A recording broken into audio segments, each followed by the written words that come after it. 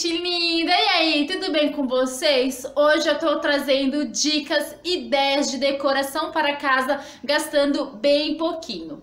Se você quer ver essas dicas de hoje, continue assistindo o vídeo e vamos lá comigo! Bom, pessoal, na nossa primeira ideia de hoje, eu tô usando esse espelho aqui, ó, que na verdade ele é de um espelho de mesa, tá? Pra ficar em mesa. Eu comprei ele na loja Daiso aqui do Taboão. Aí eu vou fazer o quê? Eu vou retirar essa parte aqui de trás dele. E vou cortar essa pontinha que tem aqui, a opção de você poder pendurar.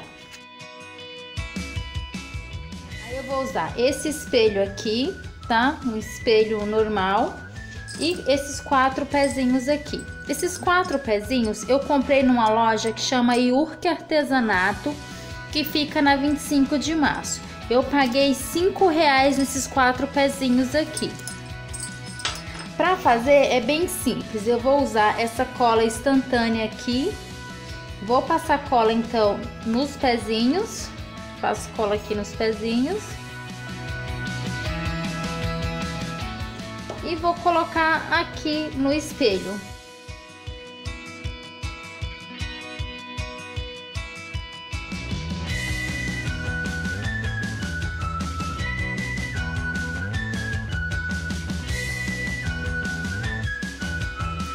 Depois que os pezinhos colarem, olha só, você tem uma linda bandeja.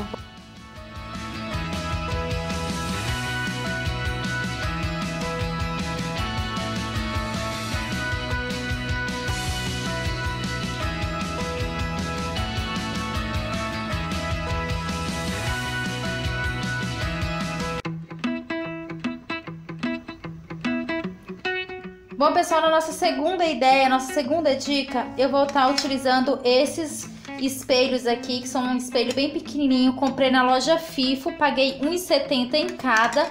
Vou estar tá utilizando quatro. Utilizar papelão, cola instantânea ou pode ser a cola branca, usar a cola quente e a tesoura. Nós vamos fazer um vasinho ou um porta-treco espelhado. Primeira coisa que eu vou fazer vai ser desmontar, tirar o espelho aqui dessa estrutura. Essas estruturas aqui, ó, a gente vai reservar e vamos usar no próximo passo.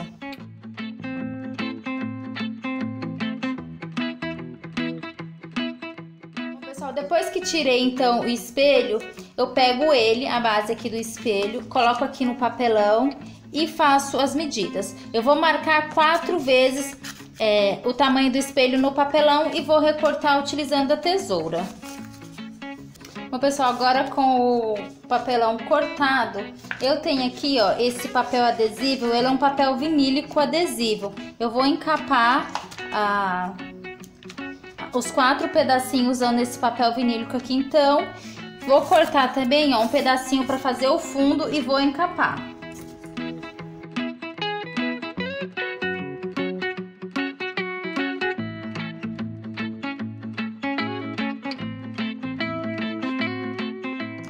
Bom, pessoal, agora, ó, com todas as peças, então, encapadas, você pode usar papel contact branco, que você tiver aí, tá? Nós vamos fazer, então, a montagem.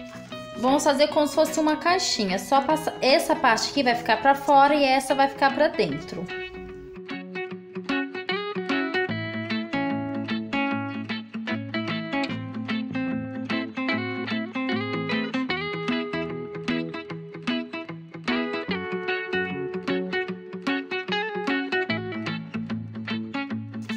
Daí, olha só, pessoal, ficou como se fosse uma caixinha. Agora, o acabamento aqui fora vai ser assim, ó. Nós vamos colando os espelhinhos.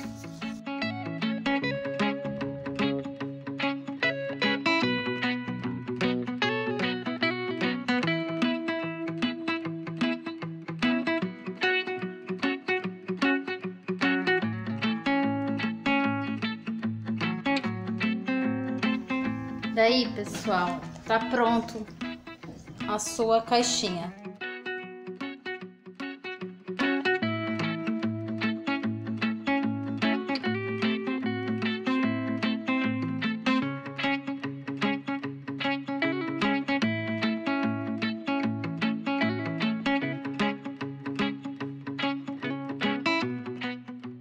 Então vou usar esses essas molduras aqui, tá? Eu vou deixar ela com esse ganchinho mesmo, para quando for colocar na parede, ou se você preferir, você pode cortar aqui. Mas eu vou deixar assim mesmo, com esse negocinho aqui. Aqui, ó, eu cortei quatro pedacinhos de acetato, porque ele não tem vidro, né, para proteger, quatro pedacinhos de acetato. E imprimi na minha impressora mesmo em casa essas imagens aqui, ó. Aí eu vou recortar para poder colocar. Vou pintar então as minhas molduras com essa tinta cobre aqui metálica. Aí eu vou pintar tudo primeiro e vou aguardar a secagem.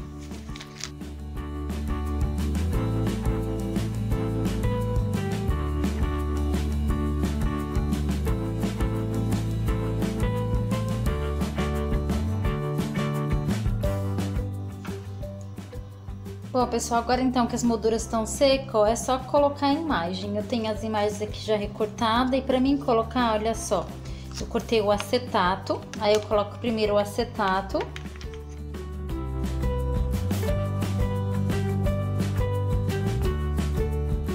Eu venho com a imagem. Vou colocar um papelão para segurar essa imagem aqui e ficar firme e não cair.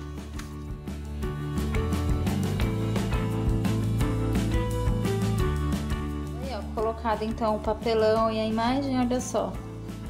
Temos vários quadrinhos bem fofos que você pode usar aí em qualquer cantinho da sua casa, que fica muito fofo, gente. Olha só que lindo.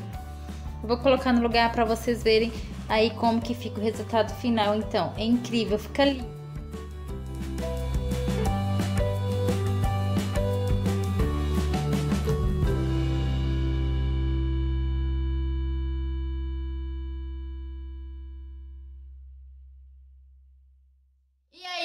Gostaram dessas dicas de hoje? Vocês viram? É muito simples, muito fácil de fazer e deixa a sua casa aí com um toque especial com a sua cara.